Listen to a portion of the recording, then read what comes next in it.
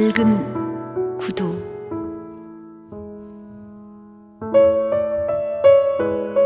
내가 걸어 다닌 수많은 장소를 그는 알고 있겠지?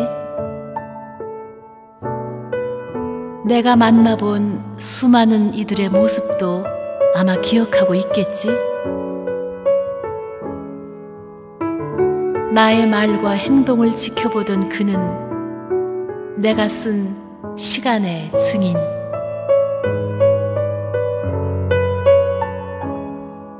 비스듬히 달아버린 뒤축처럼 고르지 못해 부끄럽던 나의 날들도 그는 알고 있겠지?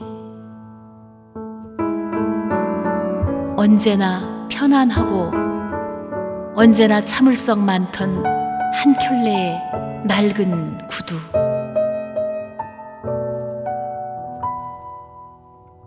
이제는 더 신을 수 없게 되었어도 선뜻 내다 버릴 수가 없다.